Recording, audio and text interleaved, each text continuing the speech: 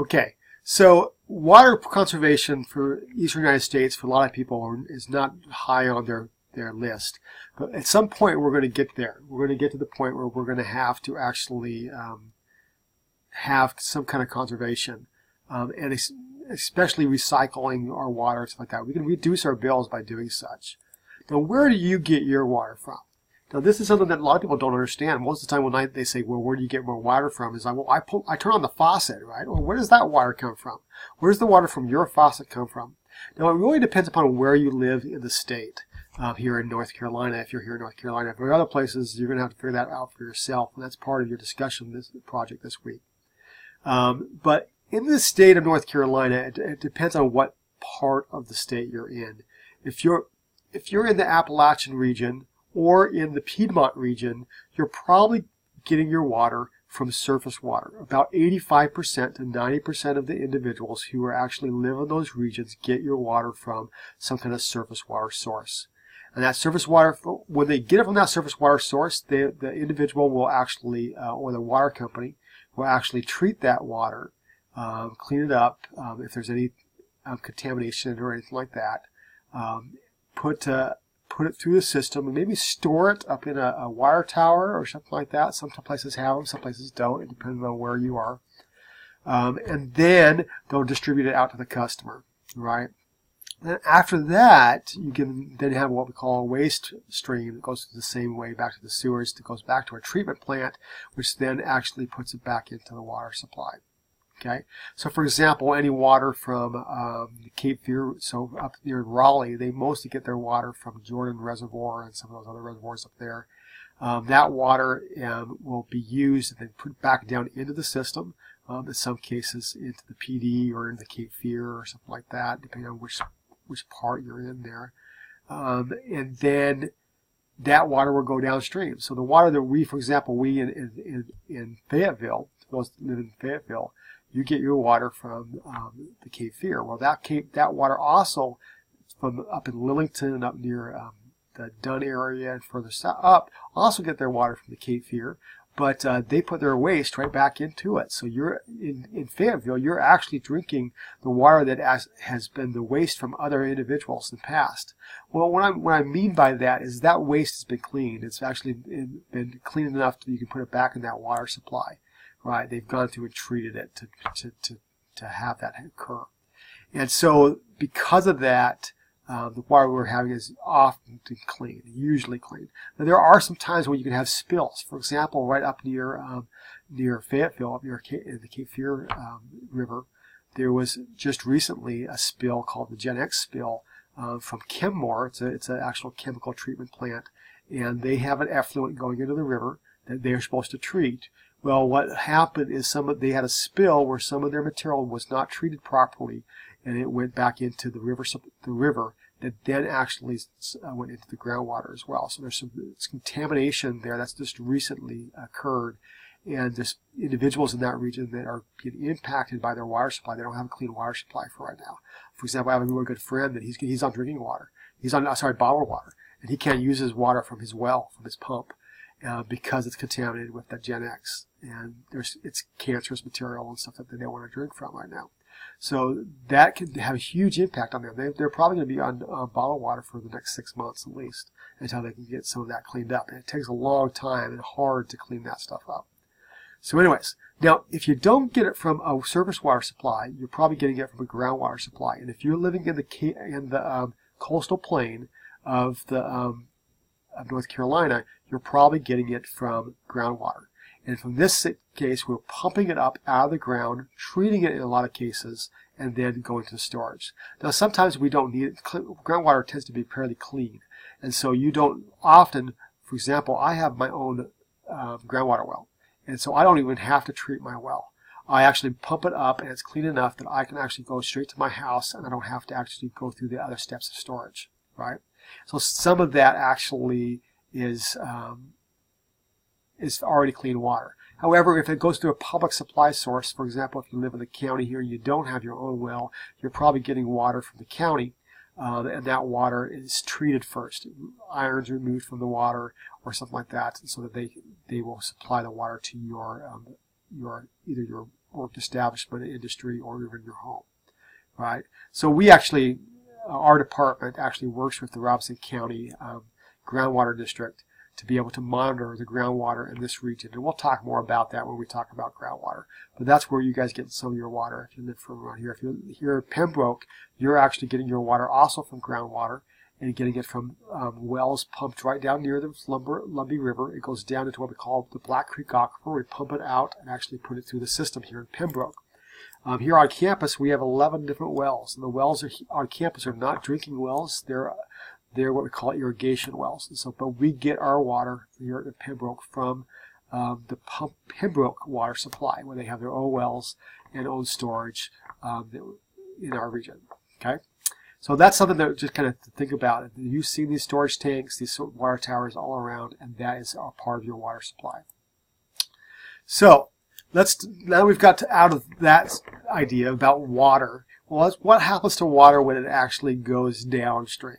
And this is where we're going to have the, the vast majority of our discussion here. So we've talked about um, environmental issues regarding water and some of the, the, the, environmental justice issues regarding water and environmental impacts. But now we're going to shift gears a little bit and talk about what we call fluvial processes, which is, is when water hits the ground, what happens to it then.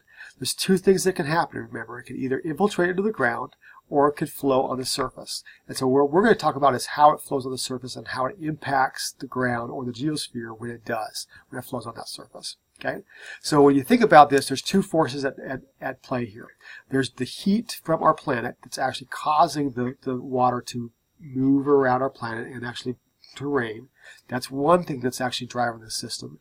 And the next thing that's driving this system is gravity and that when the water falls down, it's falling down to that that um, gravitational force or the gravitational um, driver, which is coming down to the Earth, and then it flows downhill from there, going from high elevation to low elevation, right?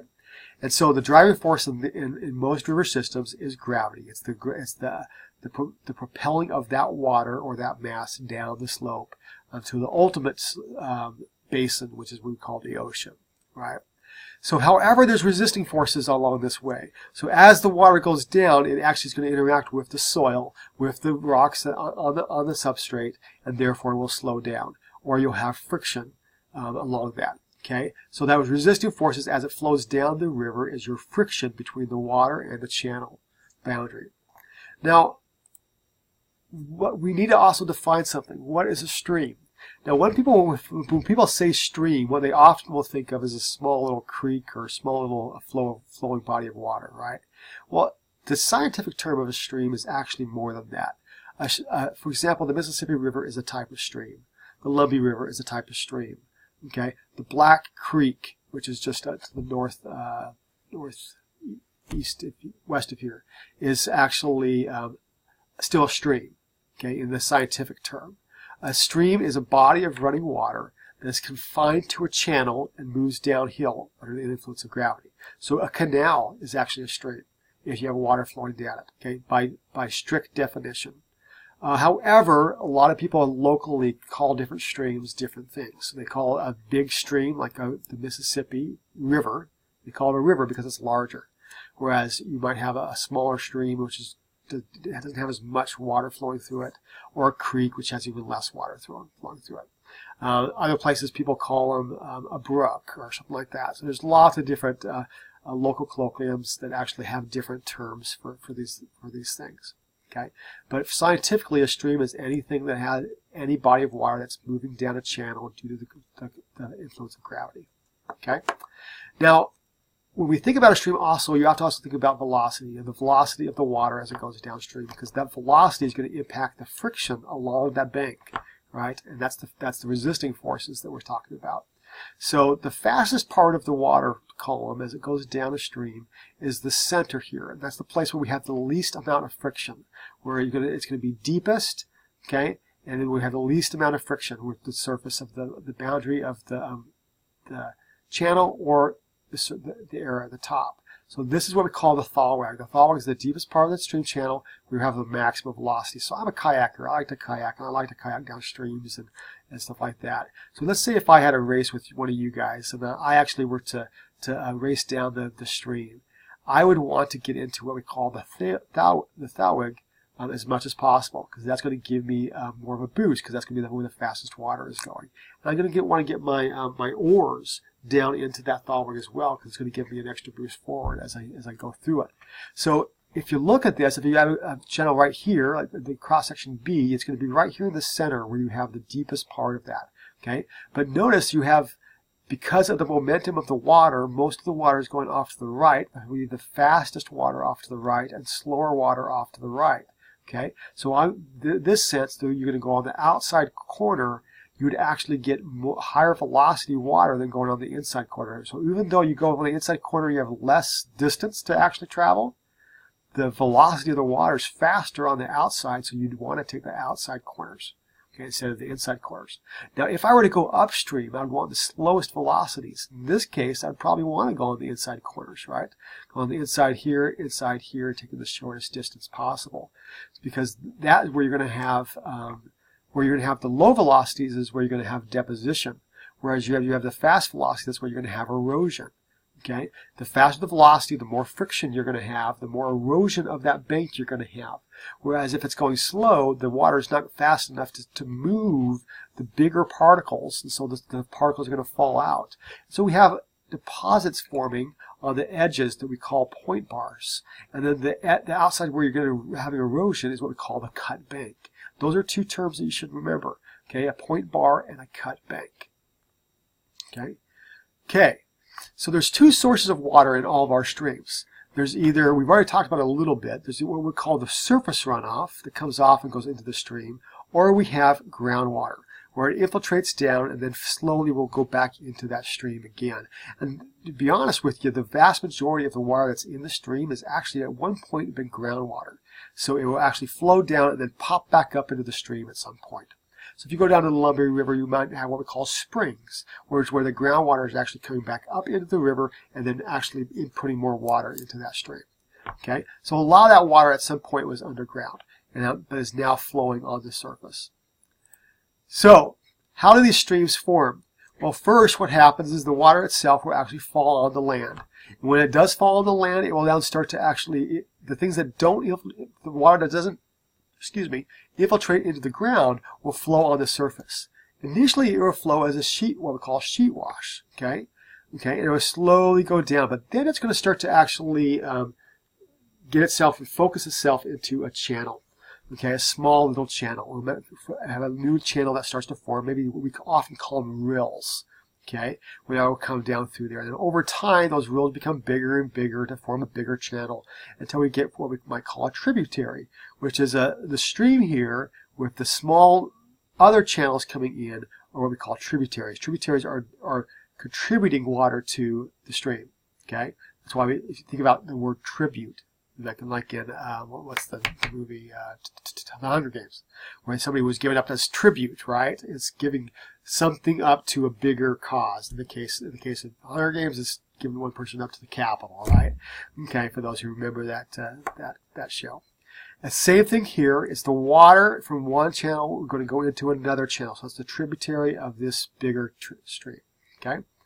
So what we call these things, or what we call this this this is drainage basins. A drainage basin is an area that if the rain falls, all that water is going to go down into a central channel, in a case a river or a stream, and then go down and then feed into another tributary downstream until you get the main trunk of the stream that then goes out into the ocean, right?